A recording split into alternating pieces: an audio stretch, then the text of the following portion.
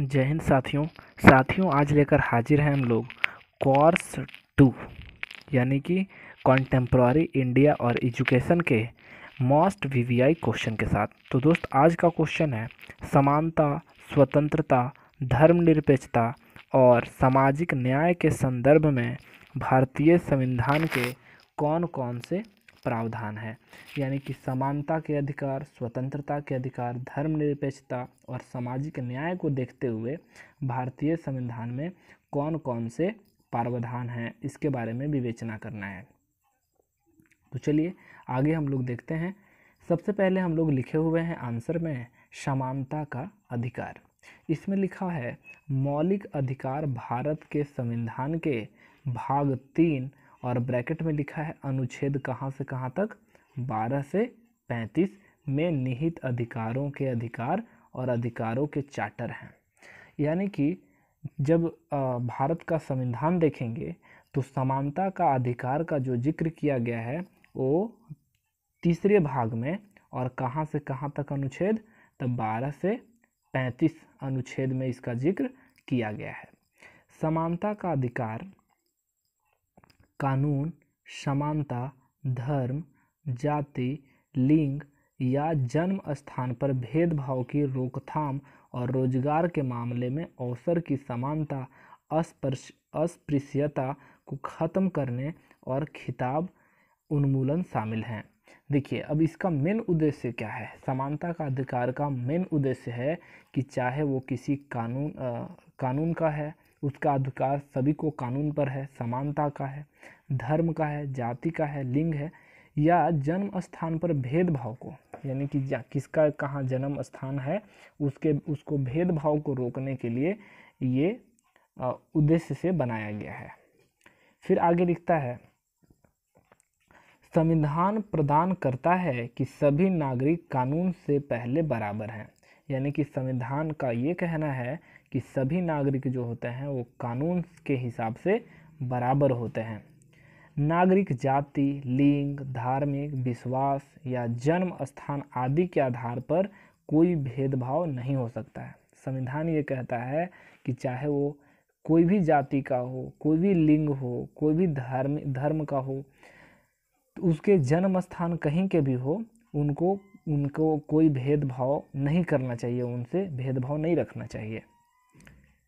भारतीय कानून के अनुच्छेद चौदह के तहत, यानी कि भारत के जो कानून है, उसमें चौदह अनुच्छेद के तहत देखा जाए तो समानता का अधिकार है। यानी कि समानता के अधिकार को अनुच्छेद चौदह में बताया गया यह मौलिक अधिकारों में से एक है।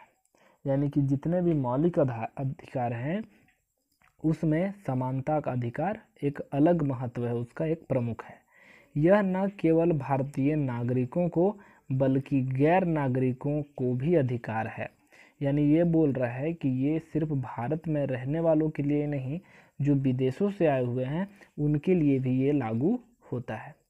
अनुच्छेद चौदह कहता है कि सभी कानून की आँखों के बराबर हैं।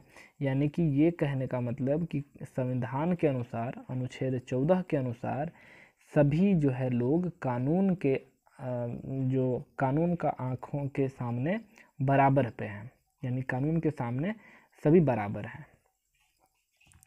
फिर आगे लिखता है, समानता का अधिकार संविधान के अनुच्छेद चौदह, पंद्रह, सोलह, सत्रह, अठारह में प्रदान किया गया है, एक महत्वपूर्ण और सार्थक अधिकार है, यानी कि समानता के अधिकार को संविधान के अनुच्छेद चौदह में भी बताया गया है, पंद्रह में भी, सोलह में भी, सत्रह में भी और अठारह में भी इसको बताया गया है। तो कुल मिलाकर ये जो है, वो इसका सार्थक अधिकार है मतलब कि और भी अधिकार हैं इसके। तो याद रखिएगा, ये अनुच्छेद चौदह में, पंद्रह में, सोलह में, सत्रह में और अठारह में इसका ज़िक्र किया गया है। फिर अगर आगे बढ़ें तो अगला है स्वतंत्रता का अधिकार। तो स्वतंत्रता के अधिकार में क्या बताया गया है? चलिए इसके बारे में भी हम लोग पढ़ते हैं। तो स्वतंत्रता के अधिकार, भारतीय संविधान के अनुच्छेद 19 से 22 तक में भारत के नागरिकों की स्वतंत्रता संबंधी विभिन्न अधिकार प्रदान किए गए हैं। यानी कि स्वतंत्रता का जो अधिकार है, वो संविधान के किस अनुच्छेद में है? तो 19 से 22 तक के अनुच्छेद में है, जिसमें भारत के नागरिकों के स्वतंत्रता संबंधी अधिकार प्रदान किया गया है। इसमें छह मूलभूत स्वतंत्रताओं को प्रमुख स्थान दिया गया है, जो निम्नलिखित है। अब देखिए 19 से 22 तक में टोटल छः जो है, बहुत प्रमुख है, मेन है। अब इन छओं का क्या क्या है? चलिए इसका भी ज़िक्र कर लेते हैं। तो पहला है वाक्य और अभिव्यक्ति की स्वतंत्रता। यानी कि कोई भी कोई वाक्य बोल सकता है, उसका अपना मुँह है भाई, कुछ भी बोल सकता है। तो वाक्य और अभिव्यक्ति की स्वतंत्रता दी गई है। दूसरा है शांतिपूर्वक सम्मेलन करने की यानी कि सम्मेलन आप कर सकते हैं, लेकिन शांतिपूर्वक होना चाहिए, कोई उसमें हुड़दंग वगैरह नहीं होनी चाहिए। तो इसकी भी आपको स्वतंत्रता दे दी गई है। और तीसरा है संगम या संघ बनाने की स्वतंत्रता। यानी संगम का मतलब एक तरह से आप शामिल होना, ग्रुप बनाना। यानी कि आप लोगों को एक तरीके से इकट्ठा कर सकते हैं, एक तरह से संघ बना सकते हैं। आपस में दस लोग, पंद्रह लोग, दो सौ लोगों का एक ग्रुप चला सकते हैं। चौथा है, भारत के राज्यों में सर्वत्र अबाध संचरण की स्वतंत्रता। यानी कि भारत के जो राज्य हैं, उसमें सर्वत्र सर्वत्र का मतलब होता है सभी जगह अबाध संचरण, यानी कि आप कम्युनिकेशन एक से एक भारत के किसी भी राज्य में, यहाँ तक कि विदेशों के लिए भी आप संचरण, यानी कि आप संचार का माध्यम अपना सकते हैं, कहीं आ जा सकते हैं, किसी से भी आप बात कर सकते हैं तो इसमें स्वतंत्रता दी गई है।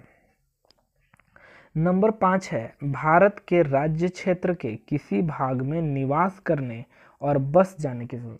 अब भारत में है तो भारत के राज्य क्षेत्र में, भारत में जितने भी राज्य हैं, वहाँ आप जाके बस सकते हैं। मैंने वहाँ आप अपना ज़मीन खरीद सकते हैं, मकाने बना सकते हैं, वहाँ रह सकते हैं।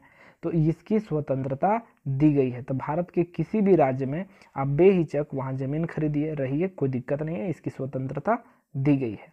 और छठा है, कोई भी वृत्ति, उपजीविका, व्यापार या कारोबार करने यानी कि कोई भी आप काम कर सकते हैं, कोई भी बिज़नेस कर सकते हैं, कोई भी यहाँ उपजीविका, यानी कि कुछ जीने के साधन अपना सकते हैं। यहाँ पे कोई ये नहीं है कि आप ये बिज़नेस नहीं कर सकते हैं तो आपको इसकी स्वतंत्रता दी गई है। अगला है साथियों, जो है वो धर्म निरपेक्षता का अधिकार। अब जरा इसको हम लोग देखते हैं कि आखिर धर्म निरपेक्षता का क्या क्या अधिकार है।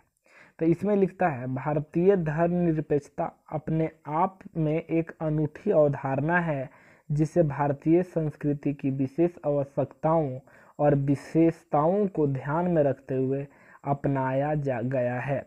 यानी कि धर्म निरपेक्षता क्या है?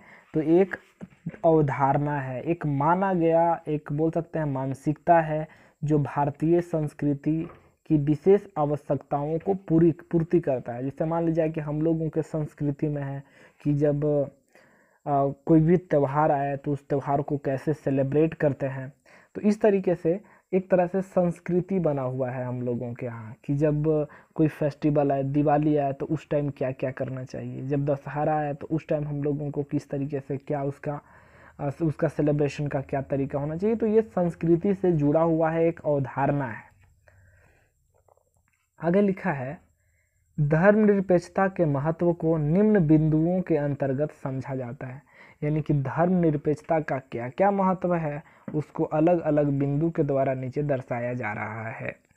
पहला जो है, पहला बिंदु में धर्मनिरपेक्षता समाज में विज्ञान एवं प्रौद्योगिकी का तर्कवाद को प्रोत्साहित करता है और यह आधुनिक धर्मनिरपेक्ष राज्य का आधार बनाता है।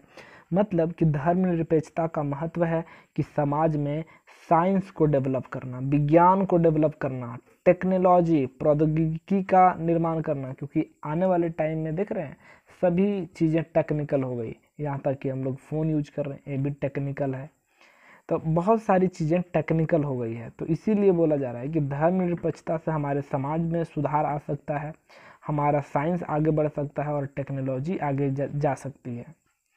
दूसरा बिंदु है, दूसरा पॉइंट में बोला गया है कि धर्मनिरपेक्ष राज्य धार्मिक दायित्वों से स्वतंत्र होता है। सभी धर्मों के प्रति एक सहिष्णु रवैया अपनाता है। यानी कि धर्मनिरपेक्ष राज्य जो है, होते हैं, वहाँ पे धार्मिक, यानी कि धर्म को रिलेटेड कोई ये नहीं है कि एक हिंदू धर्म का है तो वो हिंदू ही धर्म मानेगा। वो अपना धर्म परिवर्तित कभी कर सकता है। धार्मिक दायित्वों से वो स्वतंत्र माना जाता है। आप कोई भी धर्म को अपना सकते हैं। फिर है आगे नेक्स्ट तीसरी पॉइंट तीसरी बिंदु, धर्मनिरपेक्षता, राज्य, राजनैतिक दृष्टि से भी ज़्यादा अस्थायी होता है। यानी कि धर्मनिरपेक्षता जो है, वो राजनीतिक दृष्टि से, यानी कि जो पॉलिटिशियन करते हैं, जो लीडर होते हैं, जो नेता लोग होते हैं, उसकी दृष्टि से धर्मनिरपेक्षता जो है, ज़्यादा ही अस्थाई माना जाता है, ज़्यादा ही अच्छा है, ज़्यादा ही कॉमन है, ज़्यादा ही स्टैटिक है। फिर है नेक्स्ट सम, सामाजिक न्याय अब ज़रिए सामाजिक न्याय के बारे में हम लोग जानते हैं कि आखिर सामाजिक न्याय क्या है। सामाजिक न्याय प्रदान किए जाने संविधान के अनुच्छेद 14 से 18 तक में प्रत्येक व्यक्ति को समता का अधिकार दिया गया है। देखिए सामाजिक समाज के न्याय के लिए यानी कि समाज में कुछ ऐसे भी लोग हैं जो कहीं ना कहीं गलत चीज़ें करते हैं। जैसे किसी का हत्या कर देना किसी का ये कर देना किसी से लड़ाई झगड़ा करते रहना, किसी से बे, बेवजह कुछ मतलब कुछ घटनाओं को अंजाम अंजाम दे देना। तो कुल मिलाकर ऐसी ऐसी जो है चीज़ें हमारे समाज में होते रहती है। तो इसीलिए एक न्याय एक न्याय दिलाने के लिए कि जिसकी गलती है भाई, उसको सज़ा भी मिलनी चाहिए। तो इसको लेकर एक न्यायपालिका बनाया गया, जिसको हम लोग सामाजिक न्याय, यानी कि समाज के रूप से उसको क्या दंड दिया जाना चाहिए जो समाज में रहकर गलत करता है। तो इसका ज़िक्र जो है, संविधान के अनुच्छेद 14 से 18 तक में किया गया है। फिर आगे लिखता है, और विधि के समक्ष समान संरक्षण प्रदान किया गया है। यानी विधि का मतलब क्या? मेथड। जो अगर सही किया है, उसको सही कहेंगे। जो गलत किया उसको गलत कहेंगे। समान परिस्थिति वाले व्यक्ति के साथ समान व्यवहार किया जाएगा। यानी कि विधि मतलब क्या? जैसे आप करेंगे वैसे ही हम उसको उसका रिप्लाई देंगे।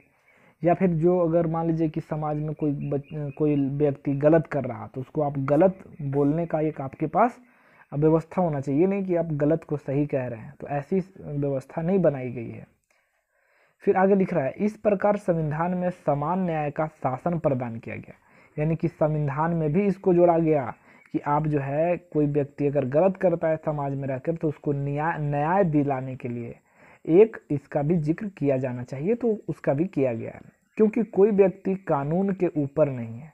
इसलिए ऐसा किया गया है कि कोई भी व्यक्ति, क्योंकि हम लोग पहले भी पढ़े कि कानून के नज़र में सभी जो है, एक जैसे होते हैं।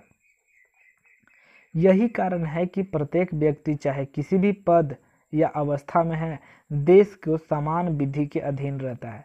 इसीलिए तो सभी कानून के हिसाब से सभी लोग बराबर हैं। इसीलिए कोई बहुत बड़े पोस्ट पे है या, या कोई व्यक्ति बहुत ही गरीब है बहुत निचले पैदान पे है लेकिन कानून के नज़र में वे दोनों सेम ही होते हैं। जाति धर्म भाषा क्षेत्र के नाम पर समाज को बांटा गया है। यानी कि किसी का, देखिए, समाज का बंटवारा जो किया गया जाति के हिसाब से, अगर कोई अलग जाति का है तो उसको एक अलग बंटवारा किया गया। धर्म, हिंदू धर्म, मुस्लिम धर्म धर्म के हिसाब से भी उसको बंटवारा किया गया। भाषा, यानी कि, देखिए, हम लोग में है तो हम लोगों का मगही भाषा है तो हम लोग मगही क्षेत्र के कहलाते हैं। बंगाल, बंगाली बोलते हैं, बंगाल के बोलते हैं लोग तो बंगाल, पश्चिम बंगाल। तो इस तरीके से भाषा के नाम पर भी उनको क्षेत्र जो है बांटा गया है। इस सामाजिक असमानता को समाप्त करने के लिए, समाप्त करने के लिए अस्पृश्यता निवारण अधिनियम 1955 यानी कि बोल रहा है कि समाज में जो असमानता हो रहा है, भेदभाव हो रहा है, जो एक साथ मिलजुल कर नहीं रह, रहे हैं तो इसके प्रति एक अधिनियम पारित किया गया 1955 जो अनुच्छेद 17 के अनुसार बनाया गया है।